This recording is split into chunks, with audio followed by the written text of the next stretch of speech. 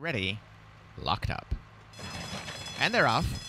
Not alone in his head, but one of the best away, showing early speed is AA Thunder Bay in the centre. Conquest Cronus drops in behind them. Coming through is Fur Jerry, and one for Jack is over on the inside. Racing with the advantage, AA Thunder Bay, and neck in front of Fur Jerry on the rail. A half a length away, Conquest Cronus going up on their outside. And back in the centre early, not alone in his head, and on the rails, one for Jack, but they're very tightly packed up, and Fur Jerry has gone clear. They go inside the half mile. Fur Jerry in front. Up the inside goes one for Jack. A bit wide, AA Thunder Bay. Not alone in his head between horses and now stoking the fire again is Conquest Cronus.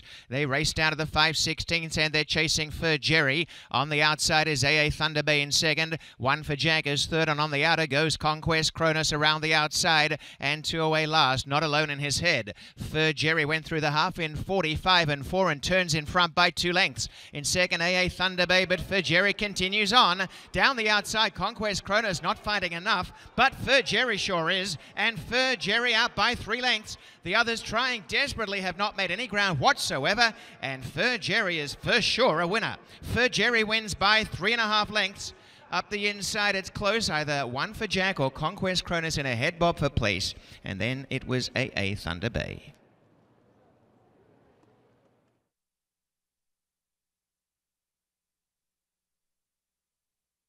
And Fur Jerry is a big gelding, four by Langfuhr from a trajectory dam, Silent Course, who was bred by the winning owner, Gustav Schickedanz, part owned uh, with uh, Donald Howard, Elizabeth Kenny, and partner. Congratulations to Mike Keogh, the winning trainer, and to winning jockey, David Moran.